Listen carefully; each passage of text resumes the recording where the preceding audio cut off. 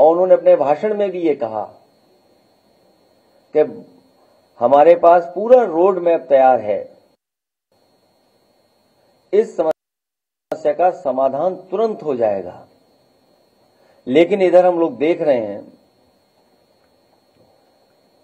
हर दिन कोई न कोई एक्सीडेंट हो रहा है, जो सड़कों पे जानवर हैं, उससे जान जा रही है।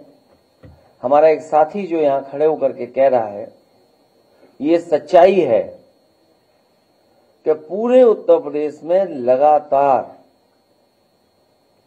जो छोटा पशु है, पशु हैं, जानवर हैं, उनकी वजह से जान जा रही है। और इधर समाजवादी पार्टी ने विधानसभा में भी सरकार को जगाने की कोशिश की। टाइगर से, लेपर्ड से, जो हमारे जंगल के किनारे वाले ज़िले हैं, उनमें समय समय पर जाने गई हैं। जिसमें बिजनौर है, पीलीभीत है, लखीमपुर है, आपका सीतापुर है, आगे बहराइच है, श्रावस्ती है, बलरामपुर है। इन तमाम जिलों में सूचनाएँ हैं, जहाँ पर जानवर आए हैं, जंगलों से निकल करके आए हैं और अटैक किया है, जिससे बड़े पैमाने पे लोगों की, किसानों की, गरीबों की जान गई। और इधर जो सुनने को मिल रहा है और देखने को मिल रहा है, कि गीदड़ की वजह से पूरे के पूरा जो हमारा क्षेत्र है, परेशान है। लोग भयभीत हैं, डरे हुए हैं। हमारे तमाम पत्रकार साथी भी मौके पे गए हैं, परिवार के सदस्यों से मिले हैं, उनकी बातचीत भी उन्होंने दिखाई है। और सरकार अभी भी गंभीर नहीं है। कभी सरकार ड्रोन उड़ाती है, कभी मुख्यमंत्री जी गोदी में बच्चे लेकर के ये साबित करने की कोशिश करते हैं कि सब बच्चे सुरक्षित हैं और हमने मदद कर दी है। और जब मदद भी की गई तो उसमें भेदभाव हुआ है।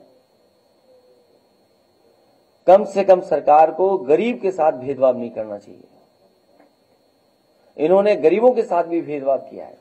समाजवादी पार्टी की मांग है कि जिन बच्चों की जान गई है, उन परिवार के सदस्यों को 10 लाख रुपए की मदद हो। और जो घायल बच्चे हैं, उनको एक लाख रुपए की मदद सरकार को करनी चाहिए और उनका पूरा का पूरा इलाज और सुरक्षा का इंतज़ाम होना चाहिए। जानवर जान ले रहे हैं यहाँ पे तो। और जिन्होंने, जैसा मैंने पहले कहा, कि जिन्होंने जानवर की समस्या को खत्म करने के लिए बड़े बड़े वादे किए थे, उन लोगों की जवाबदेही निश्चित होनी चाहिए और वादा खिलाफी पर सवाल भी उठने चाहिए। जानवरों की समस्या से निपटने के लिए एक एसटीएफ बनानी चाहिए। और या फिर गीदड़ की समस्या का समाधान के लिए यह भी केस एसटीएफ को ट्रांसफ़र कर देना चाहिए। जो लोग देखते ही कहते हैं, ठोक दो। कम से कम उस एसटीएफ को यह नया काम देना चाहिए कि गीदड़ों को भी ठोक दें। और नोएडा में ज़मीन आवंटन केस में ईडी का एक्शन हुआ है। 9000 करोड़ के ज़मीन घोटाले में एक्शन हुआ है। कंस्ट्रक्शन कंपनी एसिंडा को मिली है ज़मीन। ईडी पर एक साथ कई जगहों पर छापेमारी की गई है, जिसमें दिल्ली, नोएडा, मेरठ सब शामिल बताए जा रहे हैं।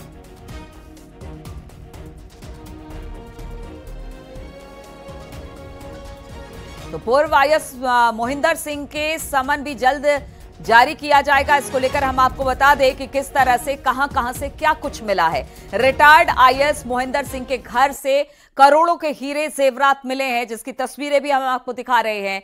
रेड में टीम को सात करोड़ का डायमंड मिला है। बरामदगी के एक्सक्लूसिव तस्वीरें इस वक्त आप न्यूज़ एटीन उत्तर प्रदेश, उत्तराखंड पर देख रहे हैं। बरामदगी में एक पाँच करोड़ का डायमंड भी शामिल है। जो डायमंड इस वक्त आप अपने टीवी स्क्रीन पर देख रहे हैं, एक बड़ा हीरा है। सूत्रों के मुताबिक मायावती सरकार में मोहिंदर सिंह कई प्रमुख पद पर रहे हैं। मोहिंदर सिंह नोएडा, ग्रेटर नोएडा अथॉरिटी के चेयरमैन भी रह चुके हैं।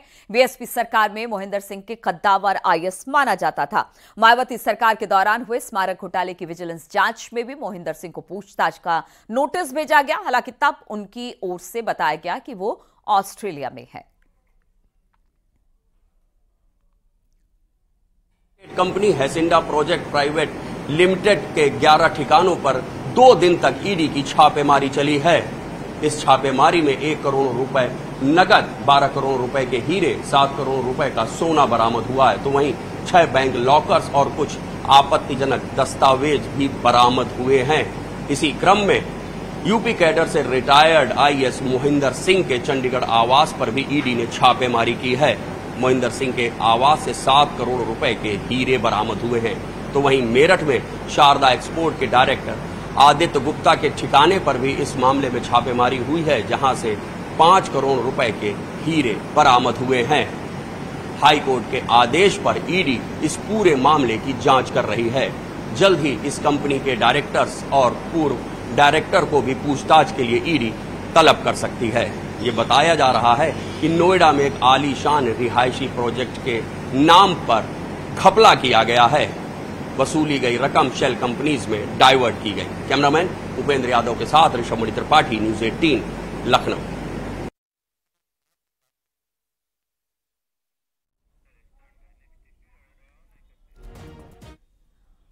और अब भदोई से खबर लेते हैं, जहाँ पर एसपी विधायक जाहिद बेग ने सरेंडर कर दिया है। जाहिद बेग ने कोर्ट में सरेंडर किया। नाबालिग लड़की के सुसाइड केस में सरेंडर किया इसने। विधायक के घर पर शव मिला था नाबालिग का। कल बेटी को पुलिस ने गिरफ़्तार किया था। और अब इसने खुद, यानी कि एसपी विधायक जाहिद शेख ने भी सरेंडर कर दिया है। तो जाहिद बेग का सरेंडर हो चुका है। कल बेटे की गिरफ्तारी हुई थी। ये पूरा मामला एक नाबालिग के शव मिलने से था, जो जाहिद बेग के घर पर मिला था, जिसमें कि बेटे को पहले ही गिरफ़्तार कर लिया गया, यानी कल।